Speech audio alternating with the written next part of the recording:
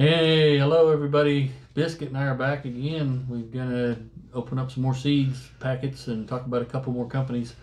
Uh, like I said on our other video, we ordered a bunch on uh, Sunday, and these came in on Thursday, so that's a pretty good turnaround. So stick around and see what we got and learn about a couple more companies.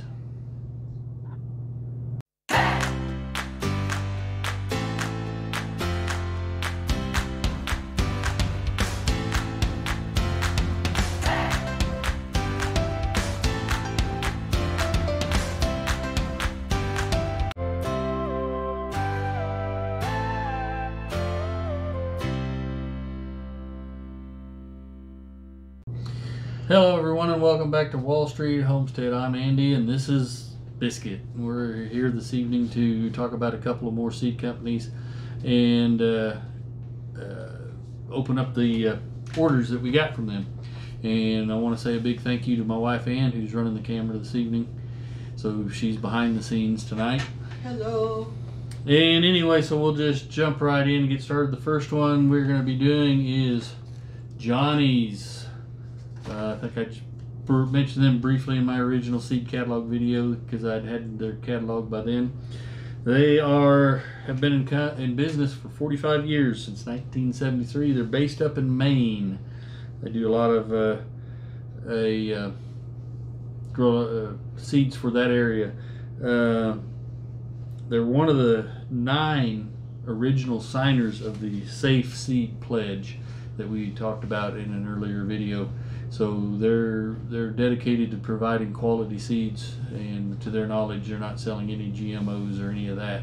Uh, so that's that's something that they've been around long enough that they were one of the first ones to sign that. Uh, they are developers of several AAS winners, which that stands for All American Selections, and I'll talk about them briefly at the end of this video and they, this company is 100% employee owned. So uh, everybody who works there owns a share of it. So uh, with that we'll jump right in and show you what we got. Like i said in our other video like this we just ordered a little bit of seeds from several different companies to just kind of get a feel for them and to get a lot of different varieties. They ship in a bubble wrap envelope. And got the invoice. Looks pretty straightforward.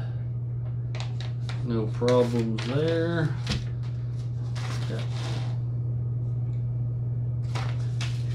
Okay, so their package is kind of on the generic side, but on the back they've got a lot of information that's too fine for you to see it there but the whole back is is filled with information about I assume this one uh, it's, it's got the seed specifications it's got uh, it's a butternut acorn squash um, it's a direct seeding rate it's got its culture transplanting direct sowing uh, plant spacing diseases insect and pests when to harvest and how to store it. So that's a lot of information on the back. Uh, on the front gives the variety, uh, the germination rate of this lot that these seeds came out of. This lot had 99% germination, which was tested on 11-19, uh, so in November. So that's that's a good sign. That's good information to know. So with that, uh, this one is spaghetti squash,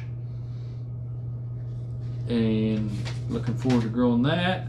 Then this is one Ann picked out. Uh, they do also have flowers, so she picked out a dwarf sunflower called a teddy bear. So that pictures of it looked real nice. This is one I tried to grow last year, but I didn't have any luck with it. But I, it was my fault.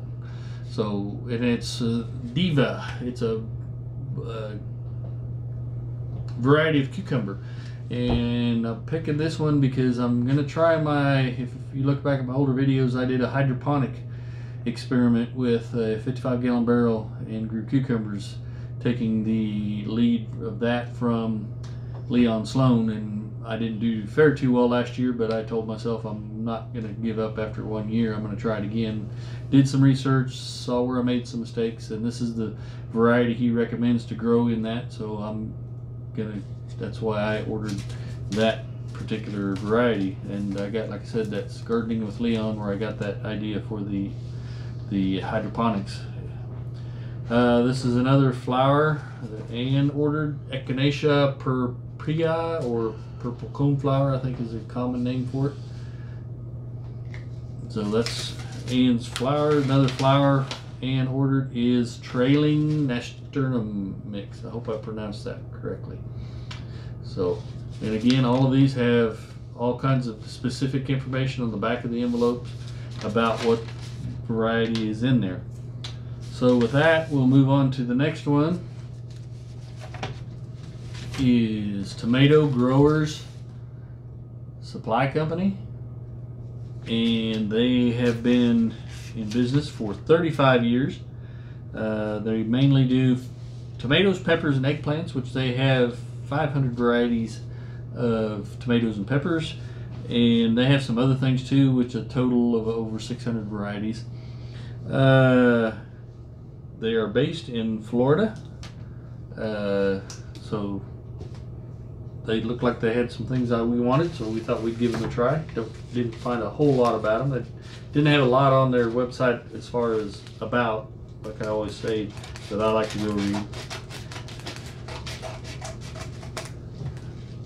They do have a paper catalog as I showed you, or they've got their internet catalog. And invoice looks straightforward. Doesn't look like we had any problems there.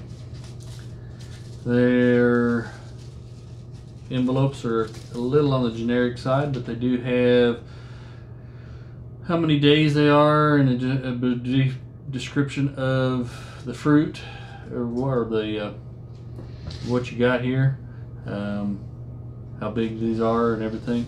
We ordered two tomato varieties and a pepper, uh, which on the pepper it's a green bell called Chinese Giant. Uh, so there's that. And then we ordered Mrs. Maxwell's Big Italian. It's an heirloom variety. It's a beefsteak, if I remember correctly. This is one Ann looked at and thought she'd want to give a shot to, so we're going to try that. And last is one I picked out to go along with my cherry tomato experiment, well, not experiment, fun we're going to do this year. And these are Rapunzels.